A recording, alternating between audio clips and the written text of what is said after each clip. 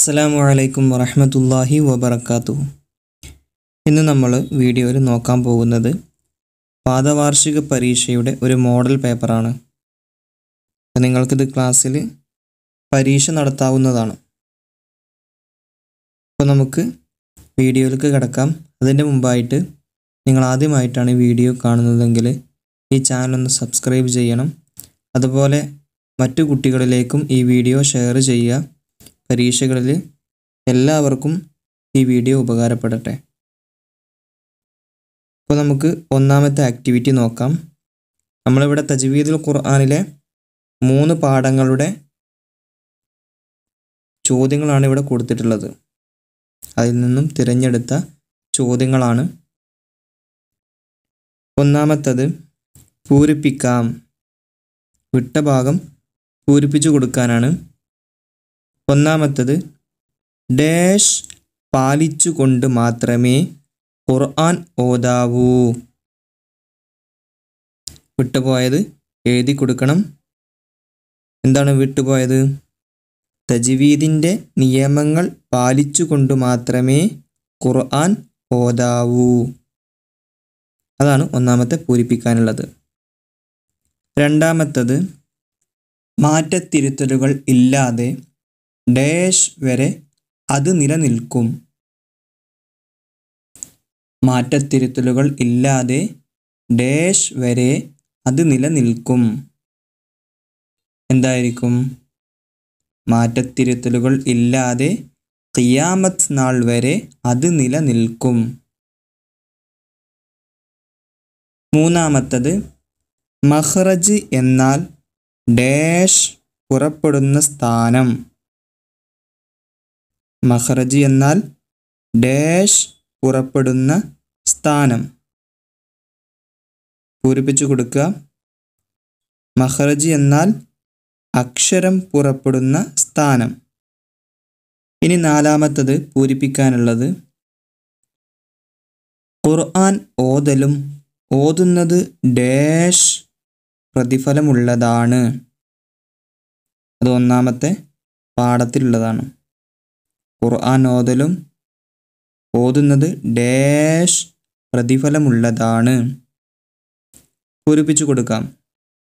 ഖുർആൻ ഓതലും ഓതുന്നത് കേൾക്കലും അതിലേക്ക് നോക്കലും പ്രതിഫലമുള്ളതാണ്.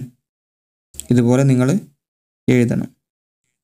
ഇനി അടുത്ത ആക്ടിവിറ്റിയാണ് ഉത്തരം എഴുതാം. ഓരോ ചോദ്യങ്ങൾക്കും ഉത്തരം എഴുതാം. ഒന്നാമത്തെ ചോദ്യം തജ്വീദ് എന്ന് പറയുന്നു എന്തിന്? എന്തിനാണ് തജ്വീദ് എന്ന് പറയുന്നത്? ഉത്തരം ഖുർആൻ ഓതുന്നതിന്റെ നിയമങ്ങൾക്കാണ് തജ്വീദ് എന്ന് പറയുന്നത്. ചോദ്യം രണ്ട് മഹ്റജ് എന്ന് പറയുന്നു എന്തിന്? ഉത്തരം അക്ഷരങ്ങൾ പുറപ്പെടുന്ന സ്ഥാനങ്ങൾക്കാണ് മഹ്റജി എന്ന് പറയുന്നത്. ഇനി മൂന്നാമത്തെ ചോദ്യം. എത്ര വർഷം കൊണ്ടാണ് ഖുർആൻ ഇറക്കപ്പെട്ടത്? പരിശുദ്ധമാക്കപ്പെട്ട ഖുർആൻ ഇറങ്ങിയത് എത്ര വർഷം കൊണ്ടാണ്? ഉത്തരം ഇരുപത്തി മൂന്ന് വർഷം കൊണ്ട്. നാലാമത്തെ ചോദ്യം. നബിസല്ലാഹു അലഹി വസല്ലം ഏറ്റവും പ്രധാനപ്പെട്ട മൊയ്ജിസത്ത് ഏത്?